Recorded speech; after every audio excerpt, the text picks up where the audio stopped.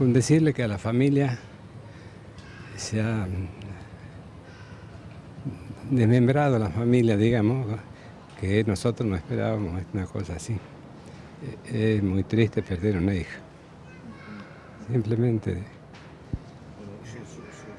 ¿Qué, qué, cuáles son los recuerdos que usted muchos, tiene? Muchos, ella? recuerdos.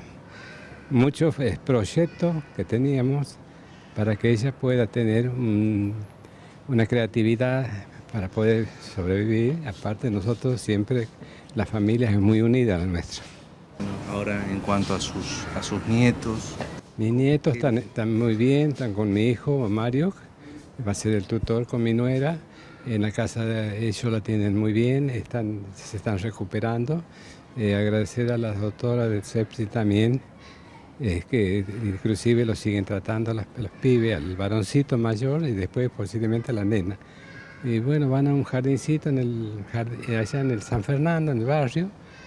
Y bueno, eh, Dios dirá cómo ha sido un golpe muy duro para nosotros. Eh, hoy fuimos al cementerio. Ellos saben que la mamá está ahí.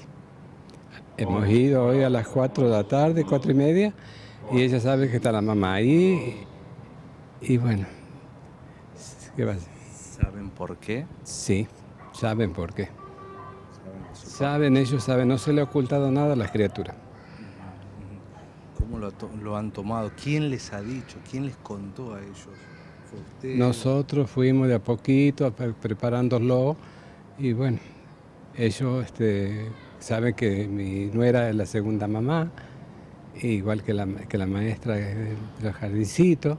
Ellos están, están actualizados en esas cosas, saben. Y vamos a ver el futuro. Y de a poco tratar de sobrellevar el dolor, esta pérdida Sí, sí, reparable. sí, sí, a como le digo, a desconcentrar todo el sistema de familia.